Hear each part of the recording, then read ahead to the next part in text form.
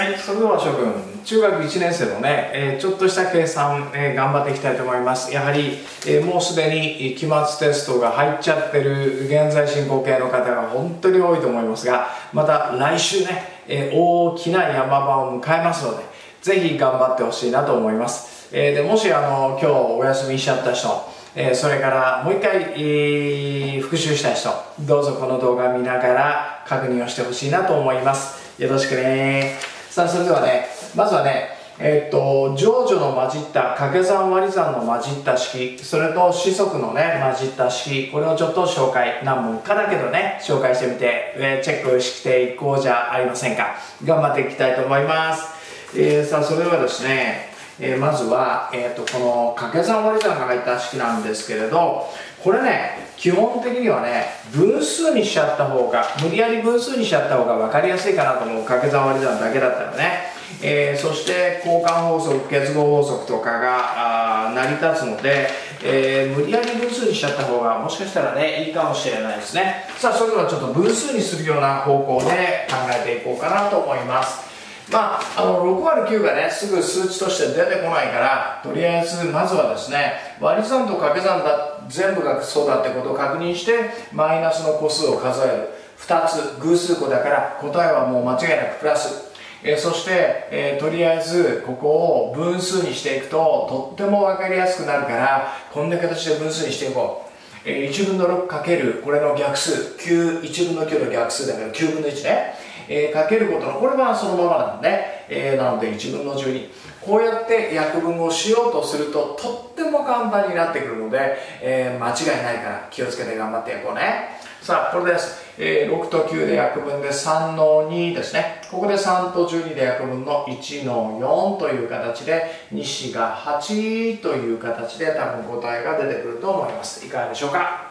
こちらも同じようにやるんだけれど本来これはですね5波四十っていうのは頭にポッとくるから今の形よりは5波四十って出てきちゃった方がいいかもしれないですね。ただしこれと全く同じようでやろうと思ったらマイナスがまず3つあるからマイナス、ね、奇数個だから答えはね。えそして1分の 5×1 分の 8×10 分の1、まあ、こんなような状況だよね。で5と10で2 2の8で4とこんなような形が出てきます。マイナス4という形で出てくれれば完璧。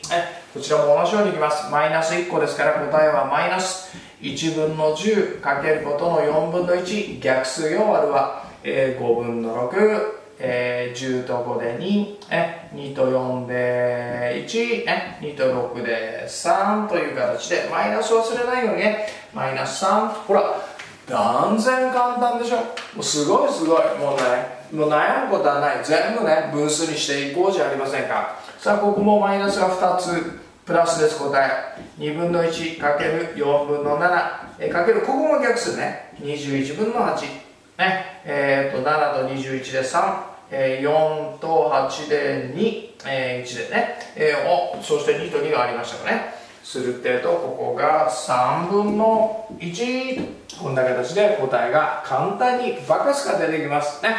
さあそして今度はもっと気をつけていかなくちゃいけない。四則計算ね。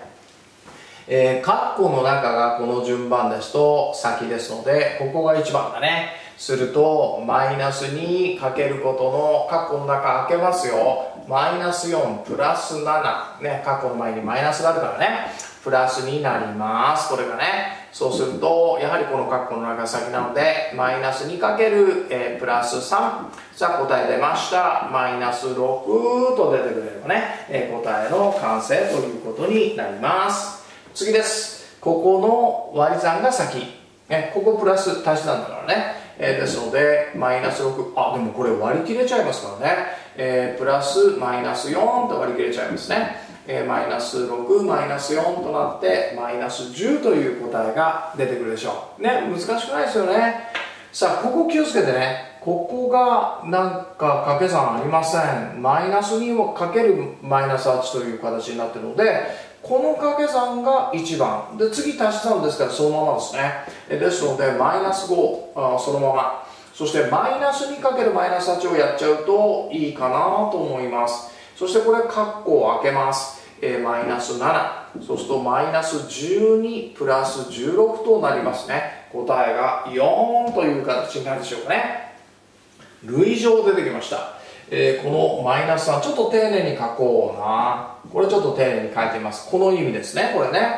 今度はこっちはですねマイナスが決まってて2だけを3回かけてくれっていうことですこれね、えー、そして割ることのマイナス4するとここは、えー、プラス9そしてここが、えー、括弧のマイナス8割ることのマイナス4でここの割り算ですね。ですのでプラス9でここの割り算がプラスの2という形になりますので11という形が出てくるでしょうかね。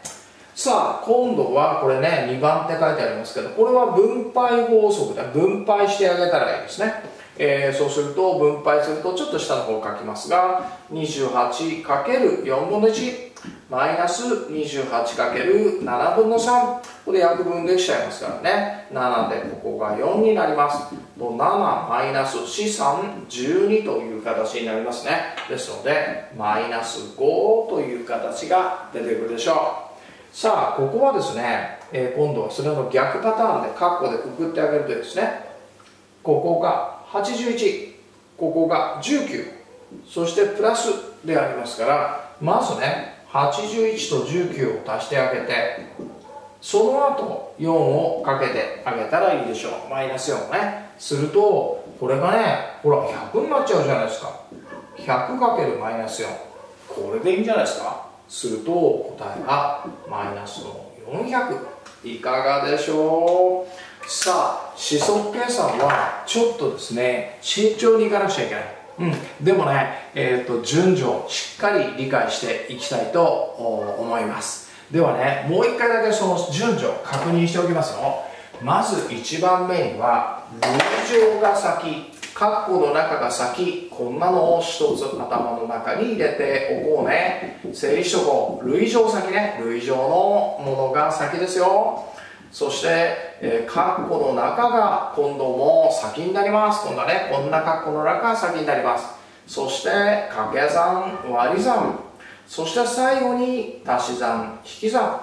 こんな順番になりますのでチューッと頭の中に入れといて頑張って本番を迎えようじゃありませんか。うん頑張って。